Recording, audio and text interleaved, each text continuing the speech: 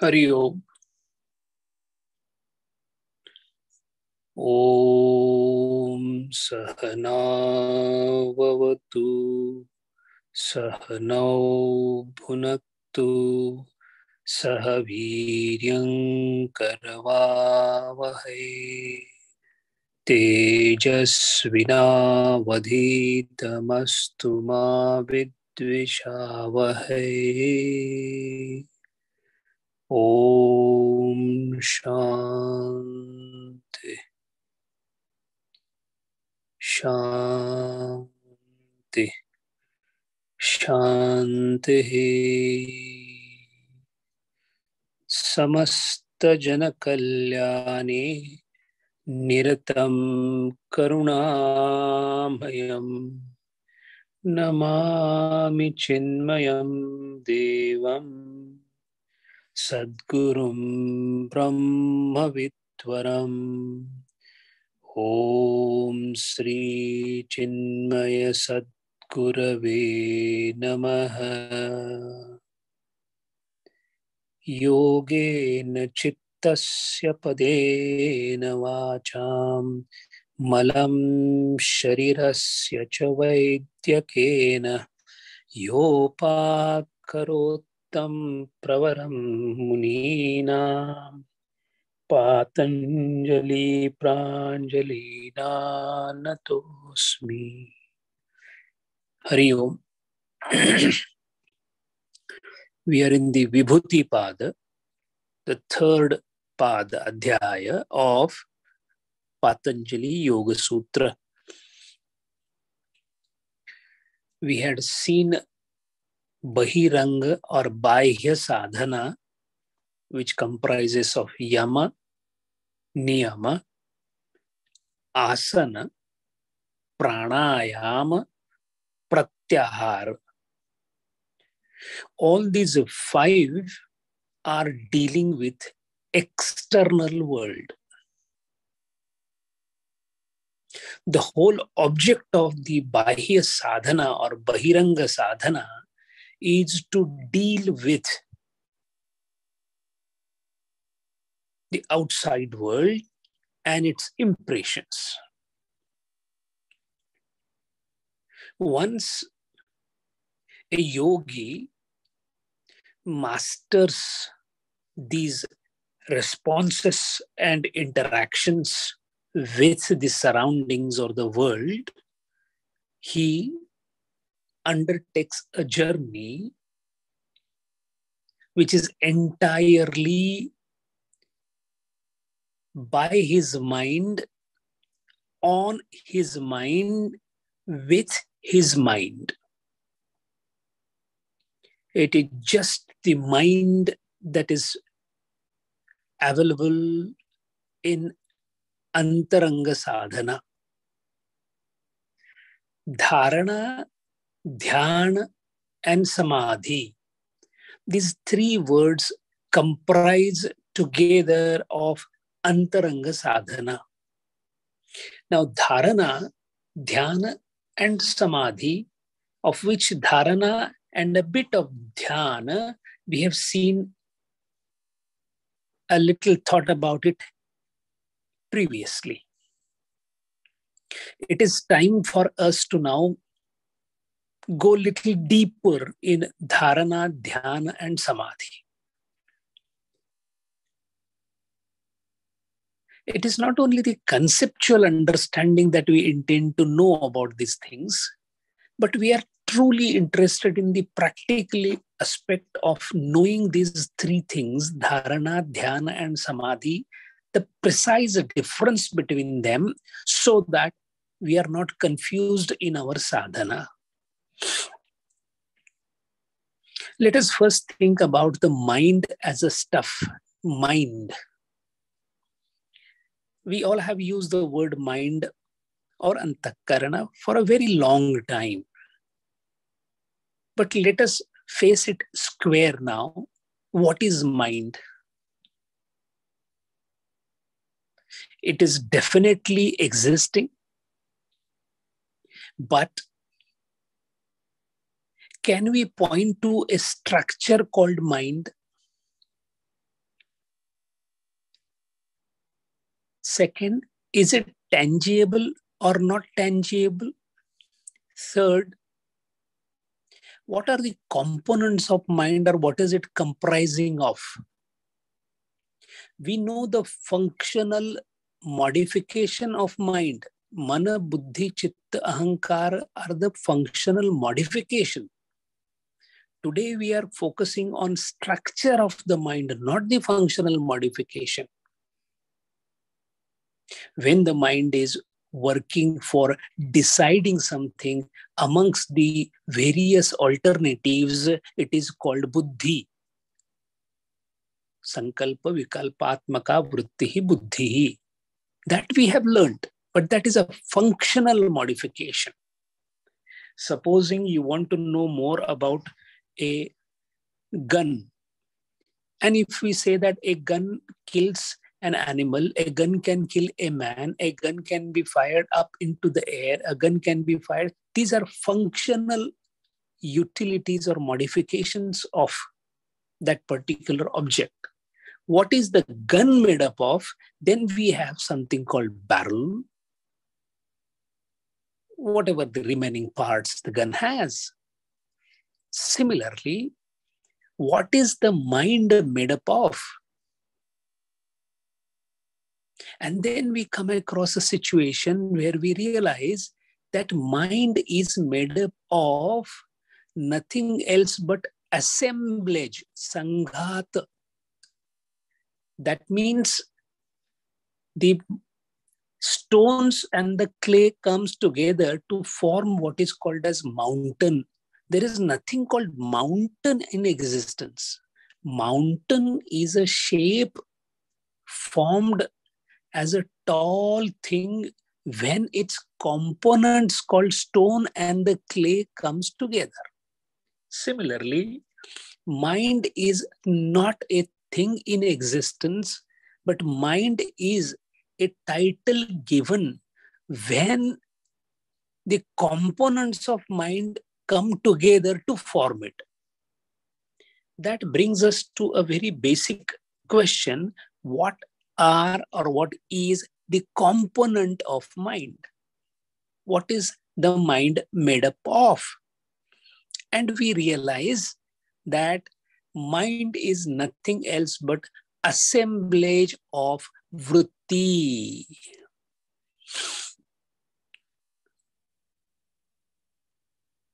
So if vritti is not there, mind cannot be there.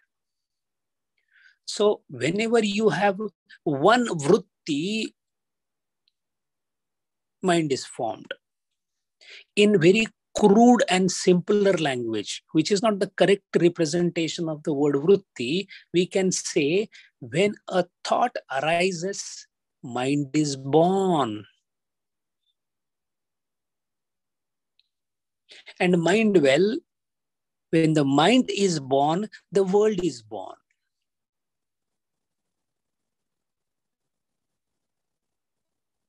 So that means one thought arises, another thought arises, one more arises. So one after the other, the vrittis arise, and that is how the mind is formed. So, how would one look towards mind as mind is bundle of enormous amount of, infinite amount of vrittis. Then comes the question ultimately, what is the vritti? Vritti is an outward expression about something. So, whenever we have an outward expression towards any object. This outward expression is called desire. Let us take an example. Right now, there is a person existing in a distant place called Los Angeles. But we are not thinking about him nor the word Los Angeles had come to our mind till I spoke about it. So, what happened because of that? The thought did not go to an object called Los Angeles or maybe a person in Los Angeles. That is why thought construct was not there, thought formation was not there, vritti formation was not there. That means an urge to know or to touch or to feel. So, a vritti is nothing else but a thought that has arisen on the bed called mind. So it is the one log of wood, then another log of wood, then another one, and the bundle of such logs of woods forms the mind, each log representing the vritti. So if we have infinite urges,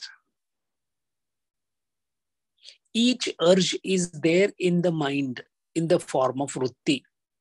But vritti in the form of smriti stays in a dormant condition or active condition.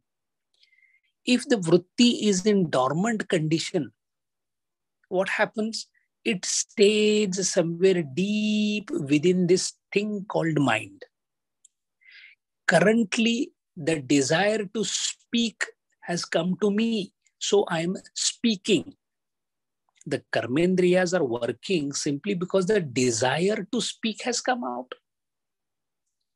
That means this vritti of speaking is the one which dominated amongst other vrittis, and that is how it has started expressing itself.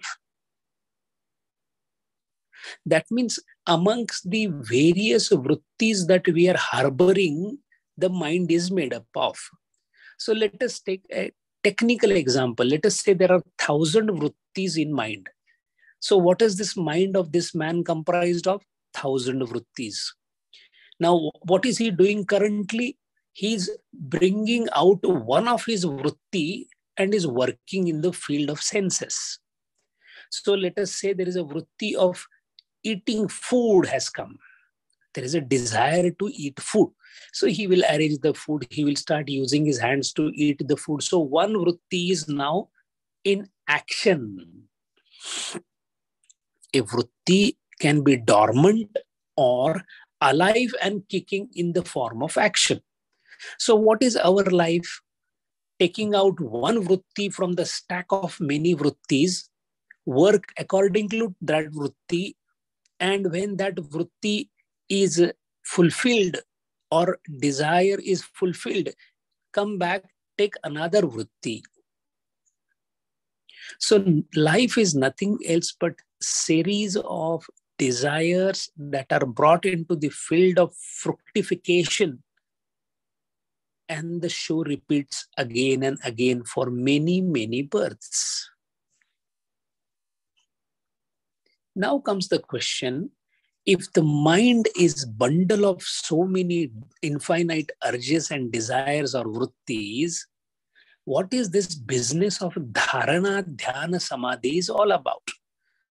Unless we understand this vritti or the urges, we will not be able to understand dharana properly. Now, when we are focusing on an object, let us say right now we are focusing on listening to what I'm talking, or I'm focusing on talking with all of us. While talking, what about my other vrittis? I have a lot of hidden vrittis. I have my own delinquencies. I have my own desires that are deep inside. I intend to own a lot of money. I intend to own a lot of things. I want my child to be very happy all those desires or all those vrittis, where are they? They are dormant. Why? Because one has dominated of speaking to all of us. So that means every time an urge comes out, a desire comes out, a vritti comes out, there are millions of them lying in dormant state. If we carefully observe the mind, we realize that some of the vrittis are so dormant and deep that we do not know that they are existing in us. In fact, not all desires come out in open even during lifetime. There are desires of yester births which are still. Can you take it there and open it? There are desires still in the mind which are lying in dormant condition for many births. When will they come out? They will come out only when appropriate, opportunate time comes. We cannot say which desire will come out when. That is how the content of desires set out for fructification is what is called prarabdha. That means, as it is by virtue of God's own arrangement, tons of desires are kept behind in Sanchita. But amongst the prarabdha which has been taken out, we do not know which of the desire is right now coming and which of the desires are still lying dormant. Why are we talking so much about desires, desires, and these urges and the vrittis? Because dharana has a direct relationship with these vrittis. Up to pratyahar, we deal with disturbances coming from outside. For example, there is a delicacy that is lying on the table seen by the eyes, the mind goes towards it and the desire to eat comes to the mind. So, what has happened? The senses, including the mind, is being attracted or being pulled towards an object outside. So, in pratyahara, we do not let the sense organs interact with the objects because that is the last bastion of our connection with the world. Now, in Pratyahara, the connection with the world has been cut off. In order to do that, the yogi had already practiced Satya, Ahimsa, Aparigraha, Brahmacharya, Shaucha, Santosha, Tapa. All this is basically meant for getting yourself or ourselves ready to cut off from the external world. That itself is a huge task, but presuming that this task is complete, now that I'm sitting inside, I have a whole lot of world to deal. The external world is over. But the internal world, the world that is in my mind, which is comprised of infinite number of urges or desires or the vrittis, which are waiting to spring out and take me back into this world.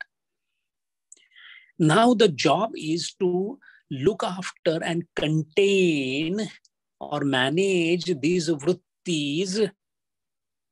And in order to do that, I have to train my vrittis. I have to tend to my vrittis in a very meticulous manner. The very fact that I have to deal with the vrittis because the mind is made up of vrittis, the very arrangement of vrittis, its study itself is a prerequisite before going for dharana or dhyan or samadhi.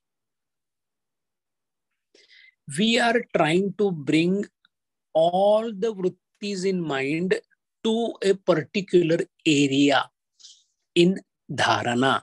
Desha Bandha dharana has been defined as desha bandha. Now, when we say desha bandha, we are supposed to bind the mind to a particular area called desha.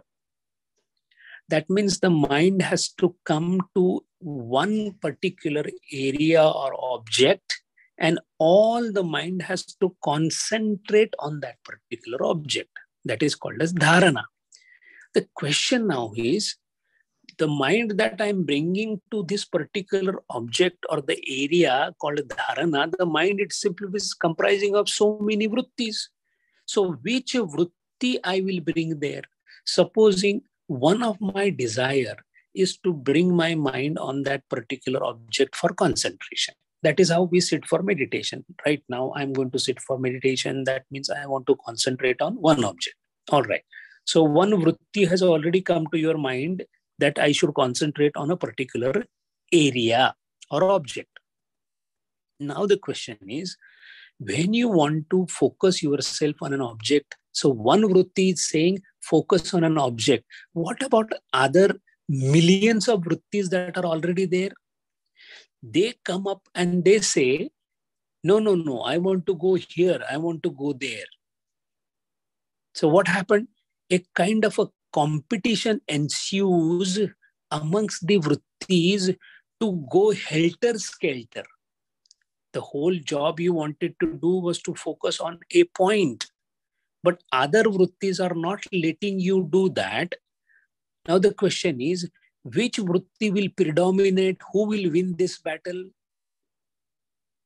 The battle will be won by the one where mind gives more precedence because it is confident that this is the ideal vritti or ideal object where I should focus upon.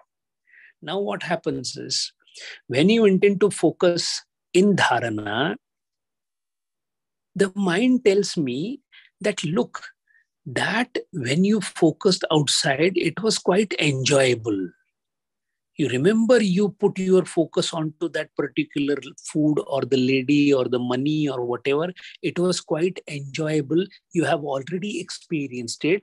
Now you are trying to focus on something which you have no experience of. Where are you trying to focus? No i'm trying to focus on a on a statue on an idol of a Lord Narayana. The mind says that what is that in Lord Narayana? It's, it's a statue, it's an idol. What is it going to give you? What has it given to you earlier? There is no experience of any kind of that. Why are you trying to get to a barren place? There is an experienced place where you had some kind of some kind of pleasure. So better you go there. And that is how the distraction of the mind by another vritti starts. Now, what has happened in the mind? The person who is trying to do dharana is right now landed into a fight of commotion between vrittis that are distracting him towards the previous experienced objects and subjective interactions where he was presuming the pleasure to be there. So the one part is you want to go straight on the object of contemplation. Mind is trying to take you exactly in the opposite direction towards the distractions. That is the first problem. All right.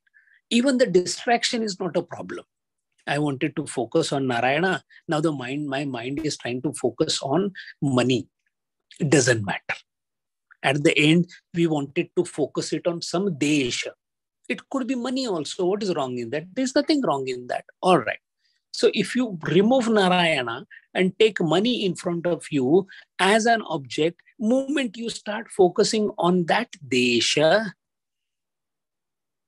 again the mind plays the same game. Other vrittis start distracting you. They say that yeah mind is uh, the money is fine but you know that other day when i was going there the person who insulted me one day i have to teach him a lesson now what happened there is another distraction that came what it means is we have habituated ourselves in focusing on while doing karma we have habituated ourselves in focusing on the objects for a very very short period in a very very shallow manner and that is how the habit is developed into the mind.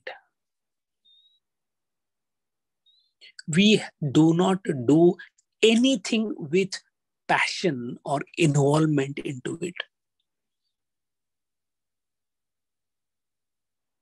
And more the involvement, more is the training of the mind into a particular object.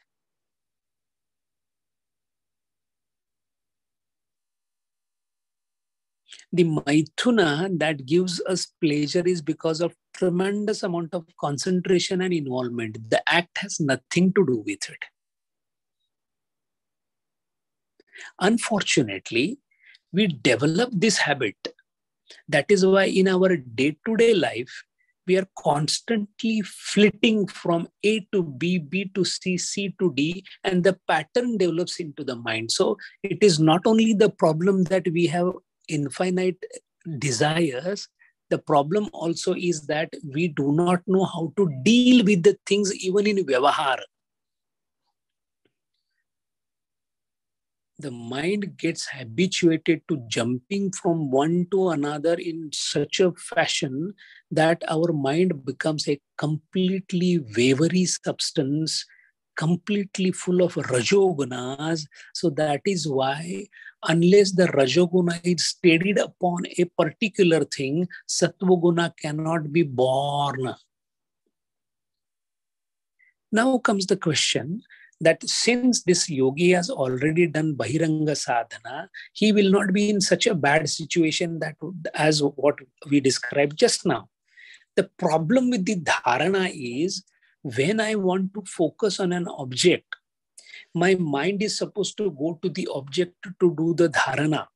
When my mind is going towards an object, the why the some vrittis of my mind are distracting me in exactly opposite direction.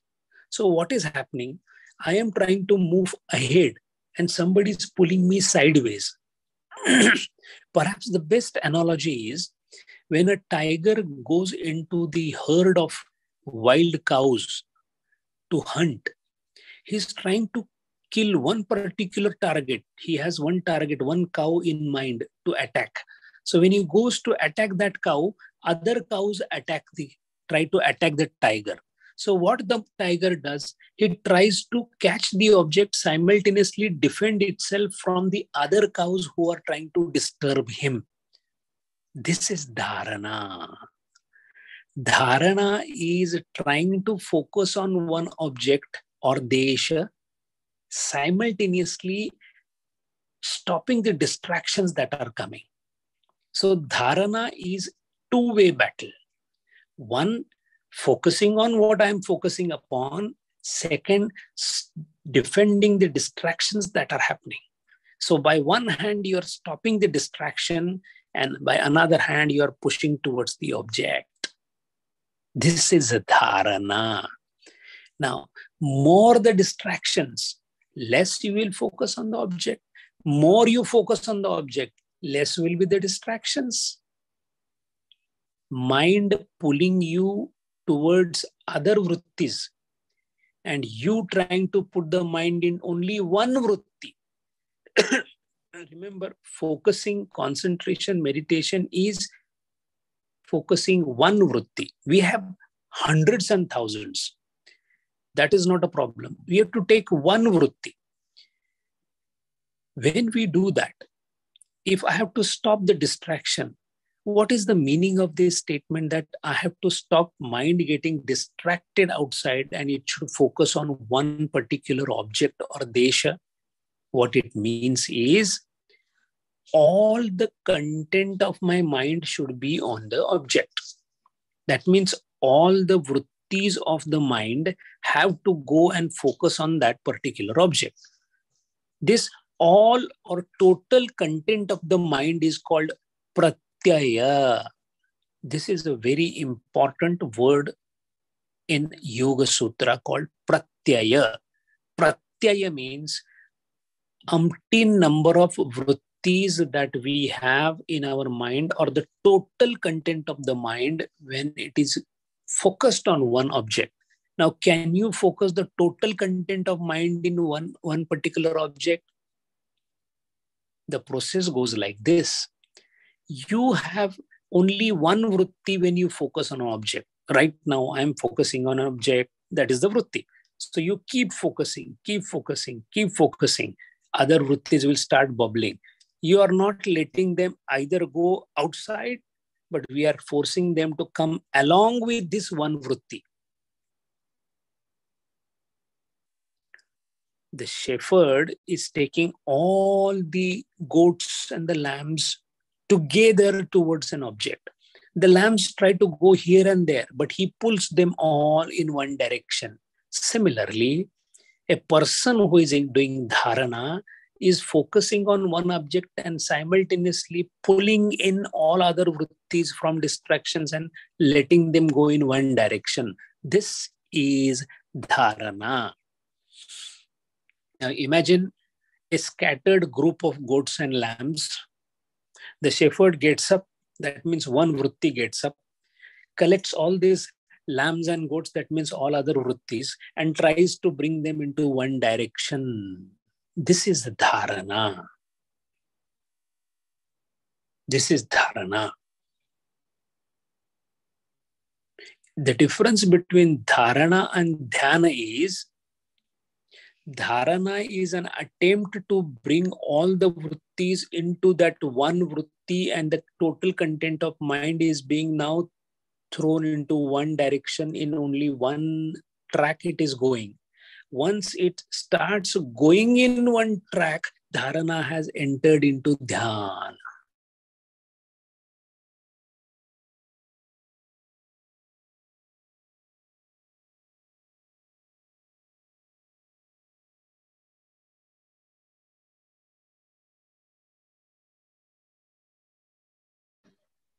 I think the image is uh, frozen. I think uh, no video, no video is frozen, no audio. Of wild cows with one cow in mind and simultaneously stops the other cows being attacking him. This is dharana. But after the object cow is hold, held by the teeth, the tiger runs away with that particular object. Now he's no more interested into others because others have also stopped doing the distraction. They have stopped defending because the tiger has gone away with one object. This is what happens in dharana and dhyana in the dharana distractions are simultaneously fought and focusing is also simultaneously done. Two acts are done at one time. In dhyana distractions are no more there. Only one act is done that is focusing on an object. So now let us see what are the problems with dhyana. Dharana, the problem is somebody is pulling me on the sideways. In dhyana, there is no pulling sideways. That, that problem is over now. In dharana, the new problem comes. What is the new problem? The tiger has taken the object cow and ran away from the herd of other wild cows, so no more distractions. But while holding the cow by teeth, sometimes the teeth become loose and the cow drops to the ground. Again, the tiger catches it and further starts walking towards his den. So, this repetitive dropping of cow is a distraction in dharana, dhyana. So similarly, a person who, in, who is doing dhyanam, he has no distractions from anywhere, but when he's focusing on the object, the touch with the object is touch and go. Sometimes he is meditating and focusing on the object. Sometimes the focus on the object is lost. He falls back. Again, with effort, he goes towards the object. So, in dhyana, the difficulty is that object of focus goes loses the contact with the meditator.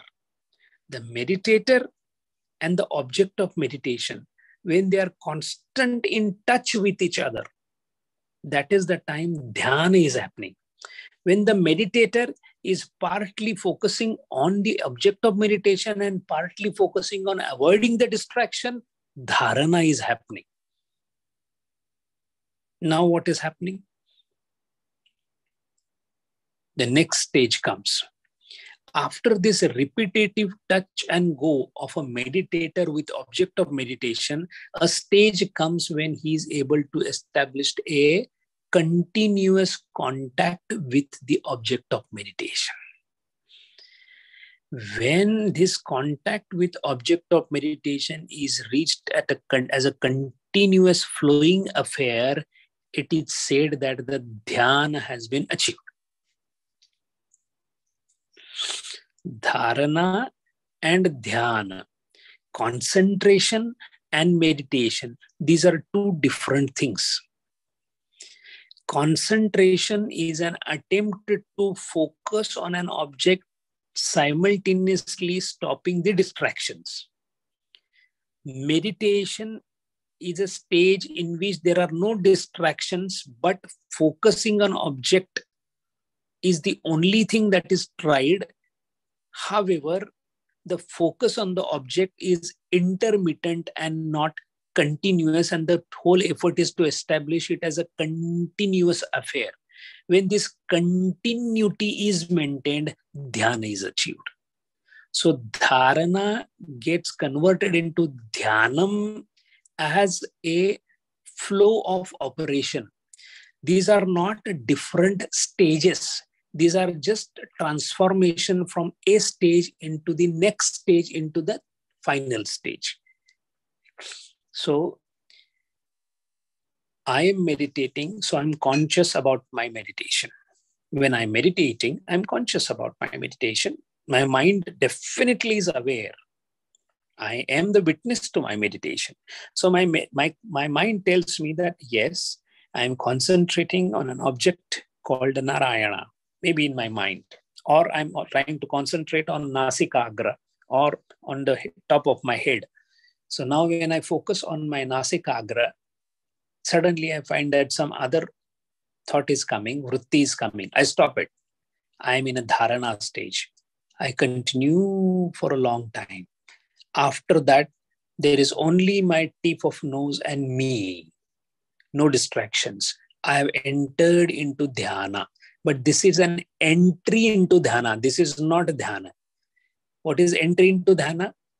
No outside distraction. You have entered into dhyana. But have you achieved dhyana? No. Why? Because although the outside distractions are not there, my mind is focusing on that object and getting in touch with that object and sometimes loses that touch with the object. Outside distractions are not there, agreed.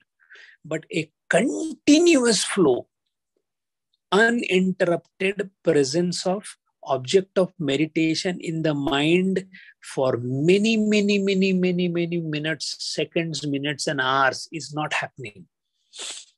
It is like my finger is going and touching the object, and again that contact is lost.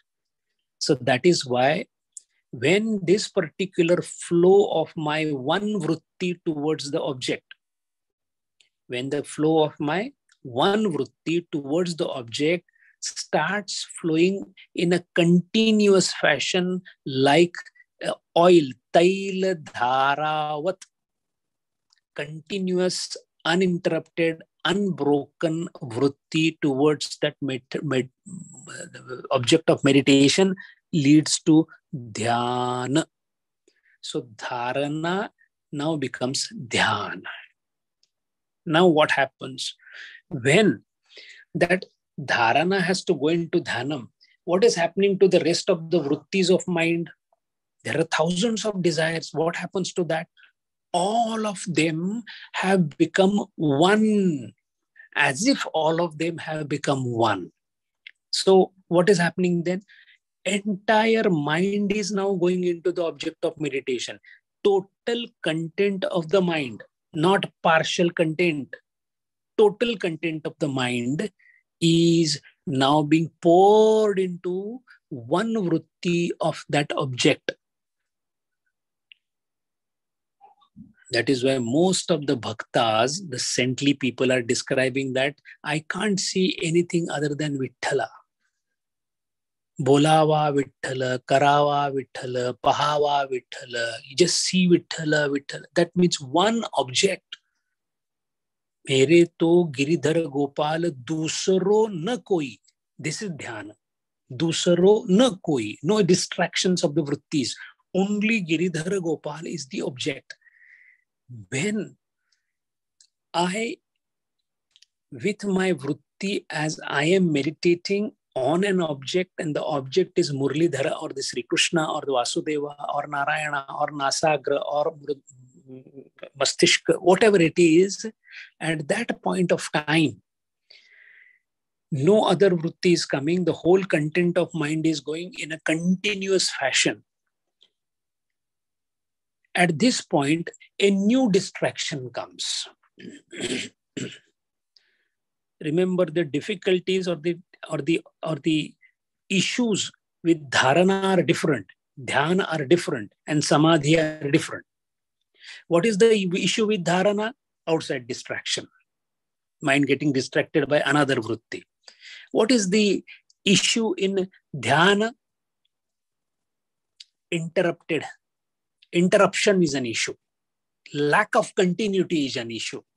Not the distraction, lack of continuity.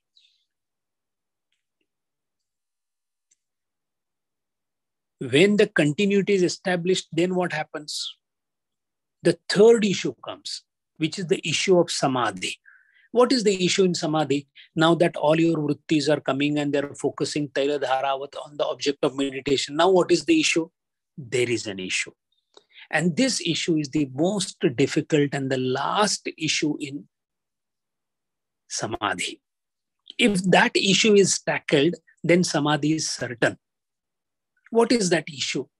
The issue is when I am focusing on an object in dhyana, in a taila dharavat fashion, in a continuous fashion, when I'm focusing all my consciousness or mind or vritti into that particular object, the flow of consciousness keeps going outside, but it does not leave the trap of my intellect. My feeling, my awareness that I'm meditating is the single largest obstacle in the final stage of meditation. I am meditating is the biggest obstacle in the last stage of meditation. In dhyana, I know that I am meditating on an object. I'm completely focused on an object, but I am focused. I is still there. This small self awareness is the biggest obstacle in moving beyond dhyana. And mind well, the object is not dhyana or meditation, object is samadhi. So, with great difficulty and Guru's blessing, when one is able to dissolve sukshma antakarana vritti of me or I while meditating, that means when the subject slowly starts dissolving into an object, then dhyana slowly enters into samadhi. Dharana got converted into dhyana. Dhyana transformed into samadhi. This happened by removing obstacles in each place. A person doing dharana stopped the distractions from outside and only focused on the object and started keeping continuous touch with the object of meditation. Dhyana started, meditation started. One who is meditating upon an object one who is doing dhyanam upon an object continued the dhyanam to such an extent that slowly started removing subjectivity of it or himself he started removing from the act of meditation and in that case he moves to the next thing called samadhi now the question is if the thing is called samadhi the definition of samadhi given in the third sutra of Vibhuti is something worth pondering upon. Patanjali Maharaj says, तदेवार्थमात्र निर्भासम स्वरूप शून्यम इव समाधि तत्व अर्थमात्र निर्भासम svarupa shunyam iva samadhi. Very important and most precise definition of samadhi.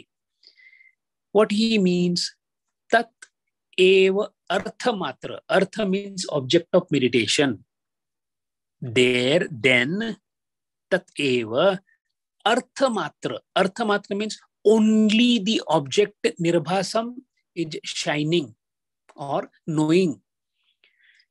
At a point of time when the meditator only knows artha matra only knows the object of meditation in the shining form nirbhasam shining form swarupa shunyam. By at the same time it makes swarupa shunya swarupa shunya means your own identity is made zero you lose your identity and only artha matra nirbhasam, the object starts shining, that is called samadhi.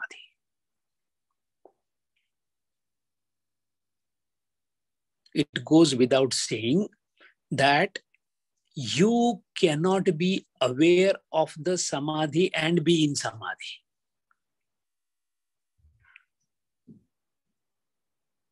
In samadhi, the mind itself is not aware of the meditation. Because if you are aware of samadhi, that means your subjective reality is still existing. With subjective reality existing, samadhi cannot happen.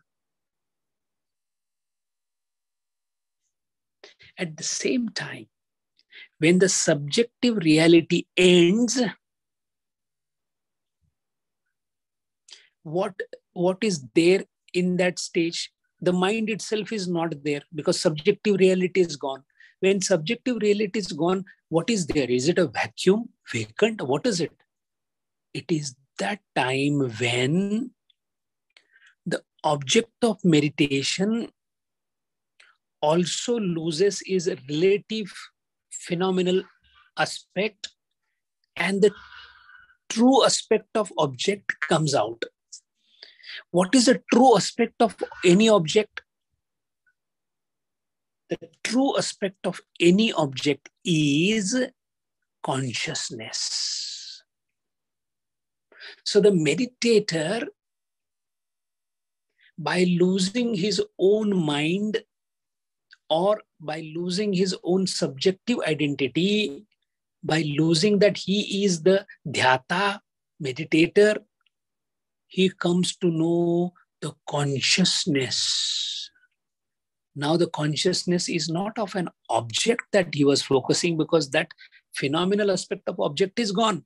Only the consciousness, and consciousness is same everywhere. Means what? Means he touches infinity. This is what is called as pushing beyond. Gurudeva had said that Tapovan Maharaj pushed me beyond. Where? Beyond where? Beyond means beyond everything because there is nothing beyond that.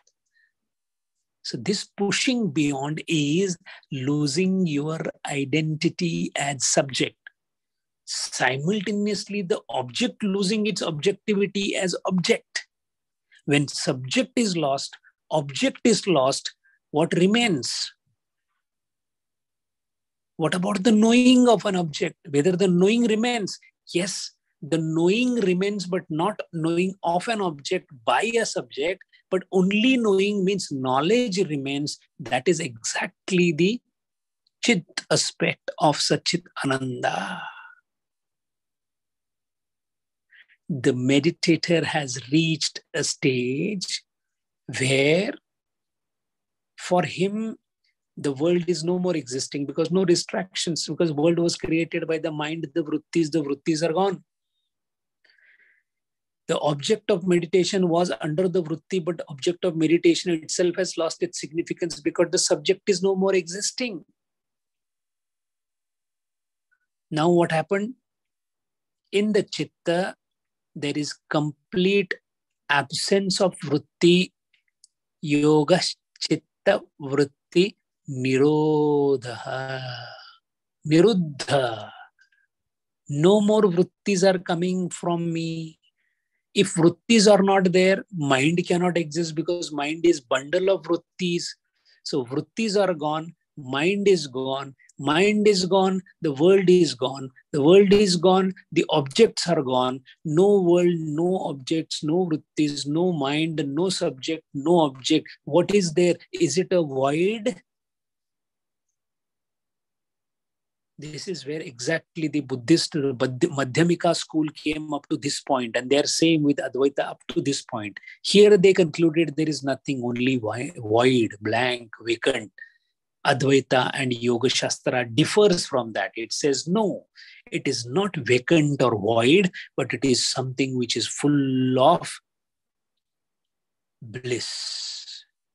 A stage where only bliss is there, only presence is there, only knowing is there of everything it is not knowing of something. It is not happiness of something. It is not presence of something but pure presence pure happiness pure knowledge. Satchit ananda swarupa. The purusha is recognized.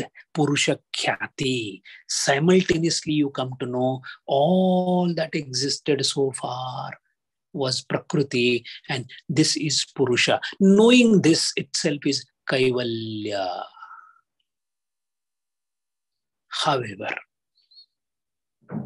in samadhi also there is an issue. What is the issue in samadhi? It doesn't last longer. There is a dasha called vyuthana dasha, coming down.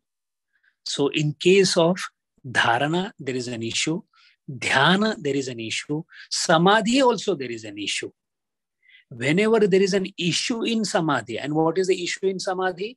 You don't stay in that stage for longer, you come down. This coming down is called vyuthana.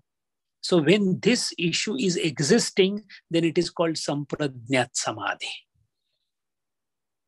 But again, when yogi pushes himself forward, and what makes him push forward? It is the previous achievement that pushes for the next achievement we are going to come to that sutra later that it is the yoga that pushes for further yoga.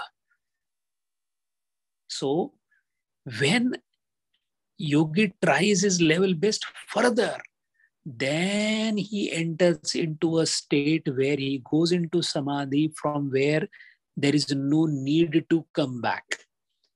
Now he has multiple choices because he can stay in the stage of samadhi for a long time he may decide to stay in that stage for a longer time and forget everything so the body will cast off and that's it there's no coming back it's gone it's over the whole game is over or he can reach the samadhi and again come back knowing fully well that he can go back कभी इस घर में आ बैठे कभी उस घर में आ बैठे as a Sufi says.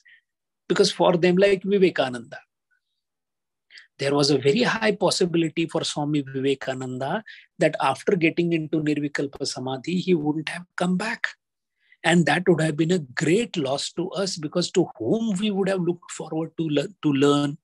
It was Swamiji who told us or taught us. So Ramakrishna Paramahamsa used his own powers to push him down from Samadhi. And that is how Swami Vivekananda gave so much of contribution to the whole spirituality.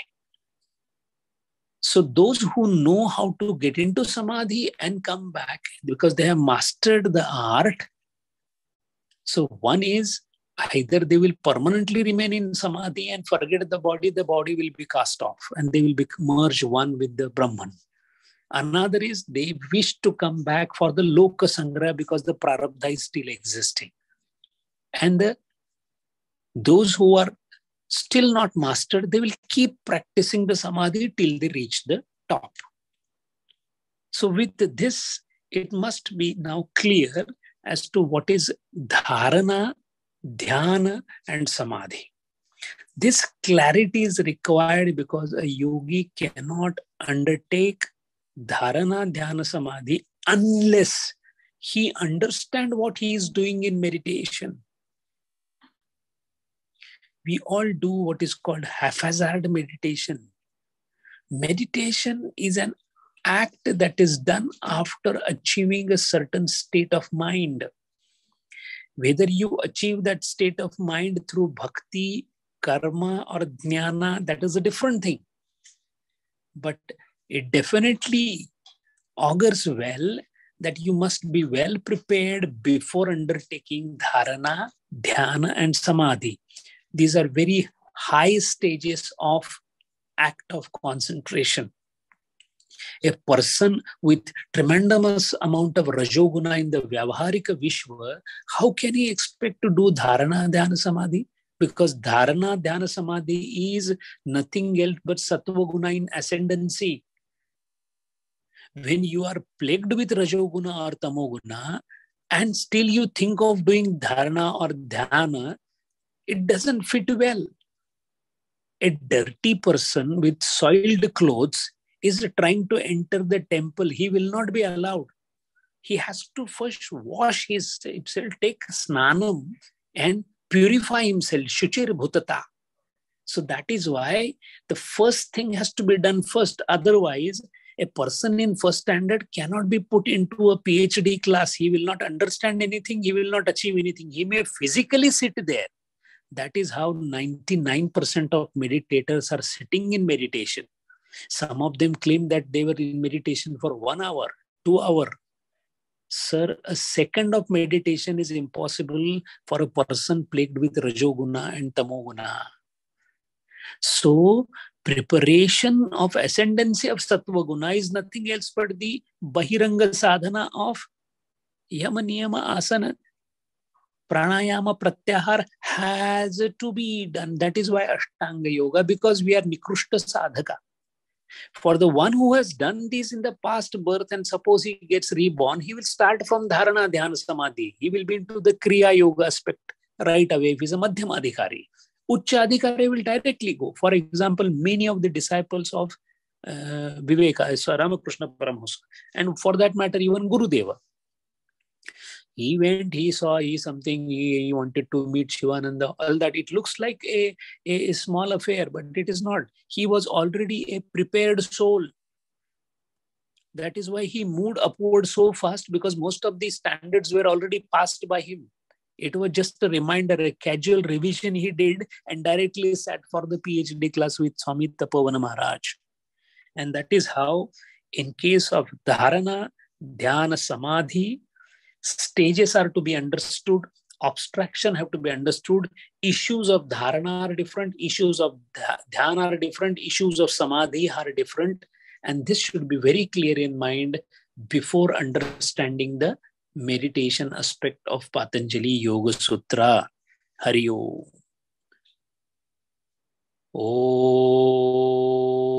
पूर्णमदः पूर्णमिदं पूर्णात् पूर्णमुदच्छते पूर्णस्य पूर्णमादाय पूर्णमेवावशिष्यते। ॐ शान्ति। शान्ति। शान्तिः। हरिः ॐ श्रीगुरुभ्यो नमः हरिः ॐ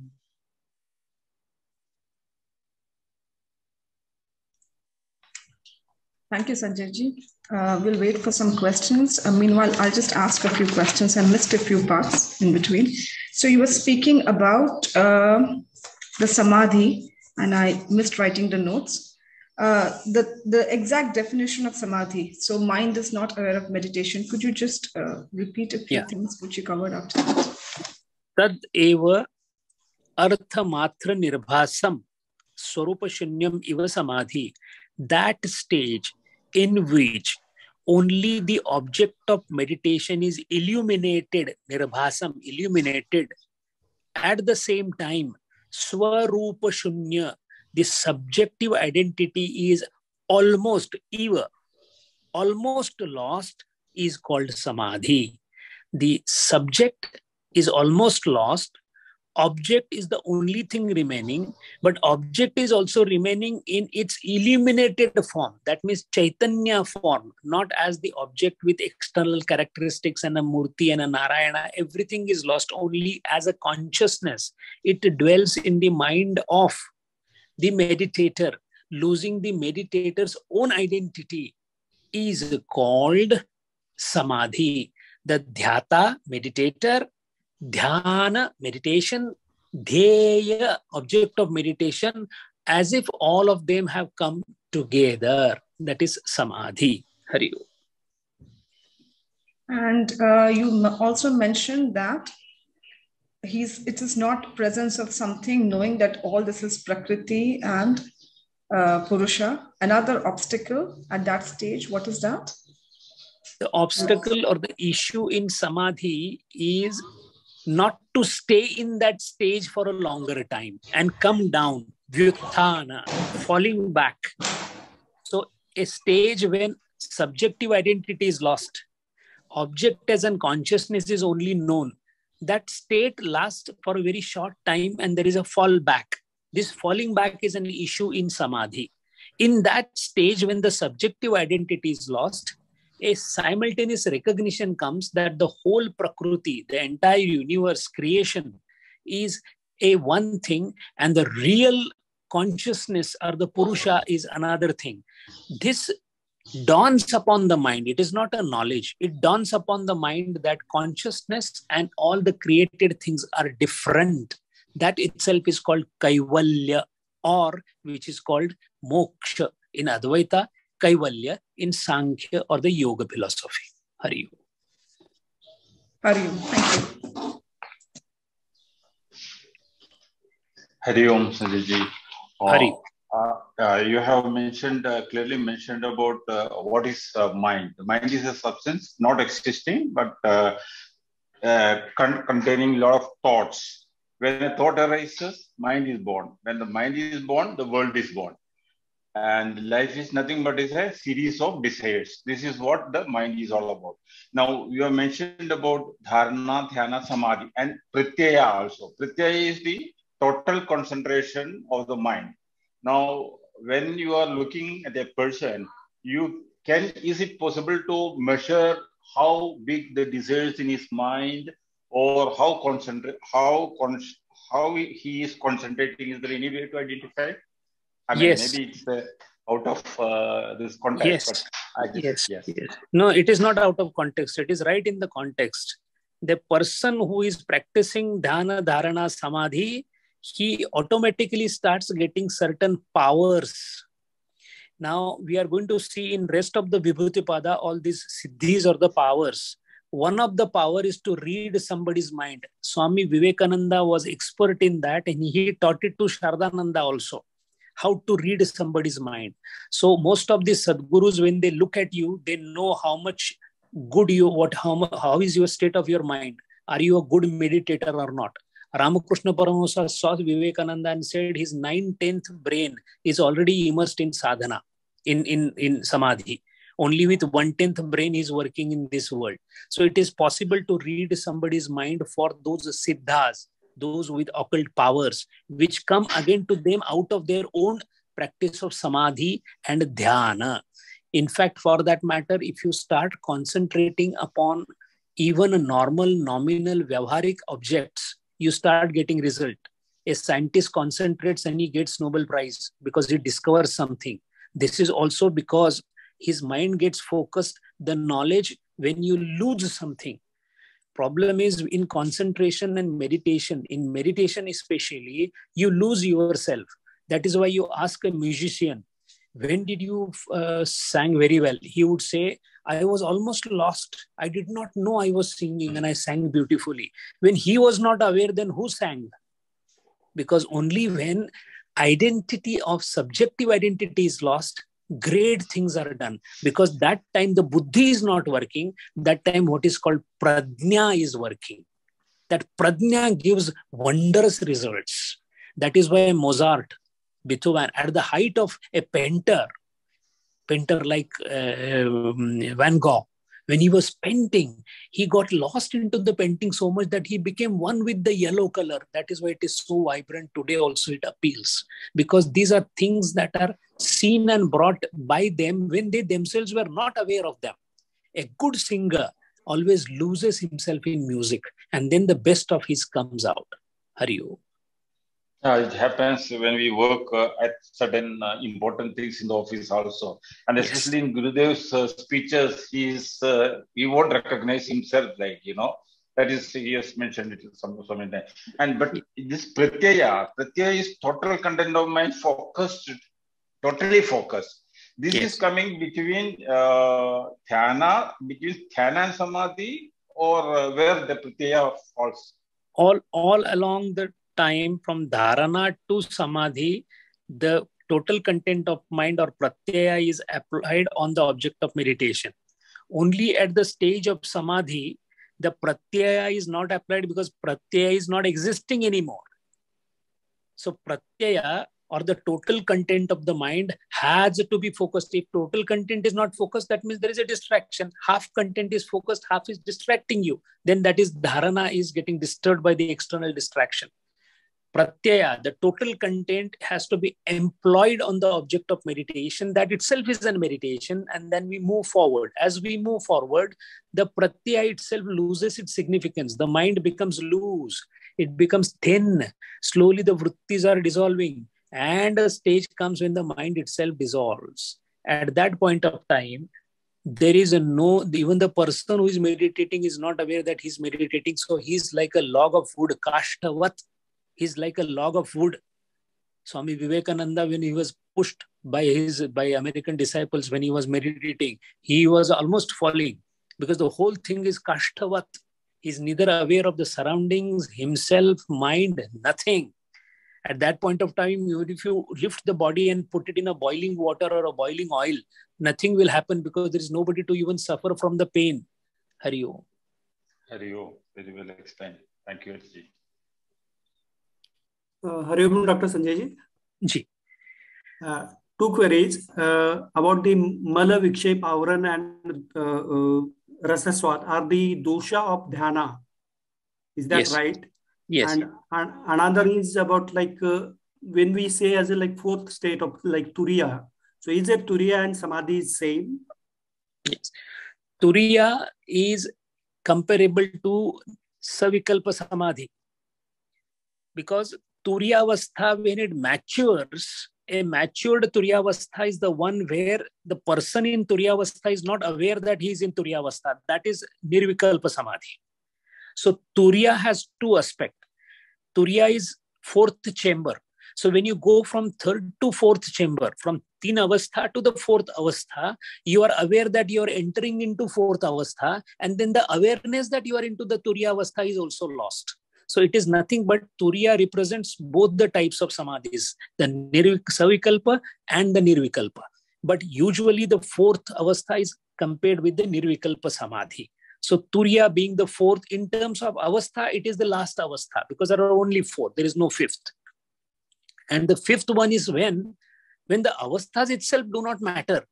There is no first, second, third, fourth is the ultimate thing because fourth is present when other three are considered. Otherwise, there's no fourth. How number four will come if number one, two, three is not there? So that means when you are aware of three and you're not in three, but I'm in fourth, that is savikalpa. But when you're not aware that you are in fourth, that means one, two, three is also not existing and the four is also not existing. That is nirvikalpa. And as far as this uh, mala Kashaya, Vikshep, and Rasaswad, all these are obstacles to Samadhi. That is true. Rasaswad is what when happens when you go into eh, Savikalpa Samadhi, Anandam galores. You feel so happy, so blissful that you get trapped into it. But thing is, when you feel happy, that means you are comparing the happiness with something.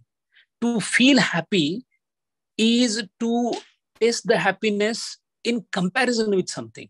When you go beyond, there is nothing to compare. Happiness is not felt, but happiness is present by happiness itself. That is the next stage. So Rasaswad is the last obstacle in Samadhi. Correct. Hari Hari Om. Uh, Hari Om, Sanjay ji. Uh, just, uh, I just wanted, you know, when we talk of shunyata and we say that Buddhists found it as uh, this thing and, you know, uh, yogis found that there was consciousness. What would be a, dif- a difference in the sense that I'm sure anybody who has reached that stage would also know whether there is nothing. I mean, you know, is it a word kind of split in uh, understanding? You know, just uh, Uh, semantic kind of split. What is shunyata and what is this? So, because anyone who at that stage would would have the ability to recognize what is there, right? You're in playing in the the highest realms of. I mean, there's nothing more than that, really. So, just a little clarification it's, it's a small analogy. I will explain this, and uh, after that, I will have to stop because I have a meeting. I'm in Mumbai. Oh, oh. Uh, see, the, this it can be a small analogy. Will explain it. When you go to a top of a mountain, what do you feel? One person feels that what a serene atmosphere. Everything is silent, still, and so beautiful. Another person says that oh, it is all greenery all around, and look at the sky from here what is happening, sir? Both are at the top of the mountain. One is describing one experience and call, calling it to be the great. Another is uh, telling about another experience and calling it to be the great. So, what is happening is it is nothing else but just the difference in describing the situation when you reach there. Tat shantena chirena abhigachati. Shantim chirena adhigachati. Gita Mata says, at that point of time, you reach peace of a very high order. Somebody says, at that point of time, you reach the happiness of the highest order, the bliss of highest order. These are somehow some words that are used to describe because that is indescribable situation because words cannot catch it. That is why the antim gantavya anubhava, anubhuti, can only be described in many ways that's why realized souls have described the same experience in many, many different ways. So that is why somebody says that I bet upon it. There is nothing else but Amrut Anubhava there. So another person says that there is no Anubhava or anything. There is just peace, Shanti. So these are nothing else but inability to verbalize the experiences at that stage because the experience cannot be verbalized. So there are certain kind of tattvik bhed these are tattvik bhedas anubhuti wise it makes no difference whatsoever. Everybody has eaten shrikhandam. Some says it is madhur other says it is sweet. Third one says that it has its own beauty. These are expressions. Anubhuti is everybody has eaten it and he has already experienced. That is for him to experience. When it comes to expression the words fall short because words cannot catch that experience. Hari.